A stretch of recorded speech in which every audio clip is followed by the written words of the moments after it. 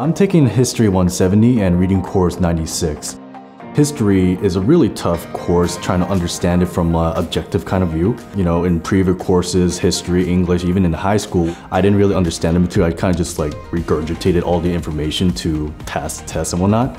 And reading course, it helped me really understand what I was really reading, the definitions, the context, and I could easily go back to any material and say what this really was about.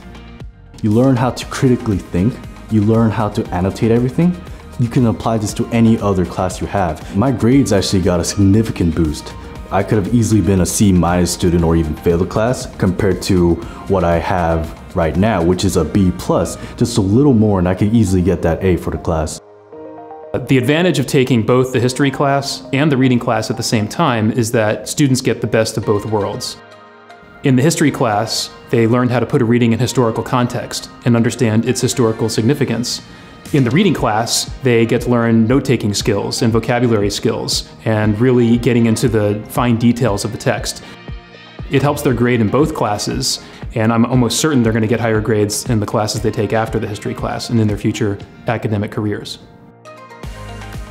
Through the Pathways Transformation Initiative, Reading and Social Sciences have teamed up to design paired courses one of the paired course sequences is History 170 and Reading 96.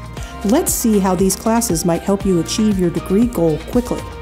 If you want to attend a UC, the History 170 course meets the Area 3B Arts and Humanities General Education requirement for IGETC.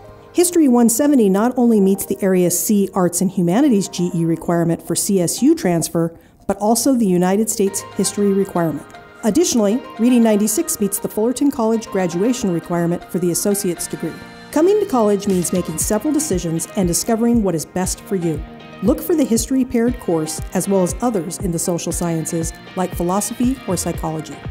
Together, the courses are designed to maximize student success in your college level coursework, fulfill requirements for transfer and graduation, and teach college level comprehension strategies. These classes will also save you a bit of textbook money because the books used in the social science course are the same as in the Paired Reading 96 course.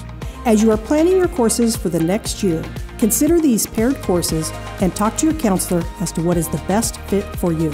For more detailed information on reading support in social science, or to learn about reading support in CTE programs, please connect with a counselor, contact the reading department, or visit the Pathways Transformation Initiative online at pathway.fullcoll.edu.